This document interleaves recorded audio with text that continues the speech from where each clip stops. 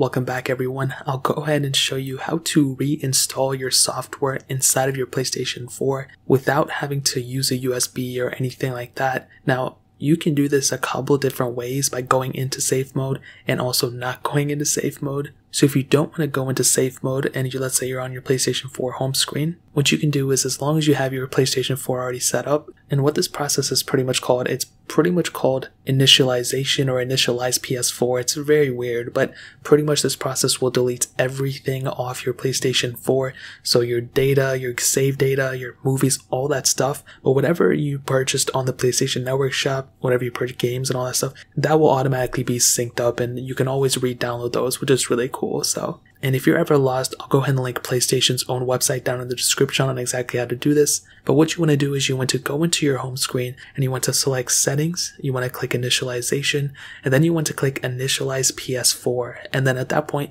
you just want to follow the on-screen instructions and the process there is pretty much straightforward. So this will delete everything off your PlayStation 4. Now I'm not going to do it because I don't want to take everything off my PS4. But if you're running into some issues, this is exactly how you would go through and basically factory reset your PlayStation 4 and reinstall the system software. Now, let's say you don't have access to the home screen or you, you for some reason you can't go through that way. What you can do is you can boot up the PlayStation 4 in safe mode and go about it that way, which I'll explain to you exactly how to do right now. What you want to do is you want to turn off the PlayStation 4 and then once the PS4 is totally off, there's no indications that it's on or whatever, you want to go ahead and hold down that PlayStation 4 power button. So whether you have the old one or the new one, or whatever, you want to hold down that power button until it blinks twice. So you might hear it beep once, but then you want to hear it beep twice. And once it beeps twice, you want to go ahead and take your finger off and it'll take about like 10 seconds for you to get it right. Usually you can get it right the first time and you will see on the screen that it says safe mode.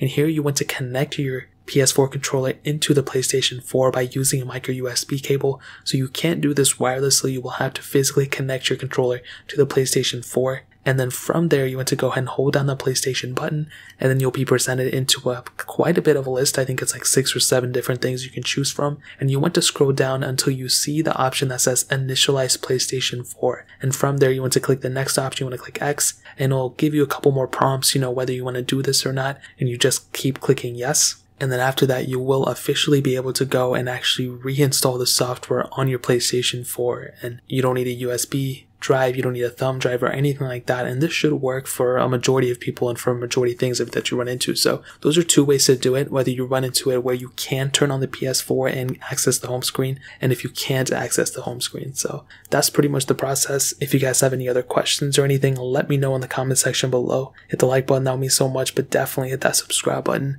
Every single subscriber that we get really does count. So it means so much if you guys could hit that. Also check out the other links down in the description as well. My Twitter, my Instagram, my second channel channel. All those links are linked down below. I'd really appreciate if you guys would check it out. More importantly, than everything else, I love every single one of you guys. Hopefully I'll catch you guys in the next video. Peace out till then.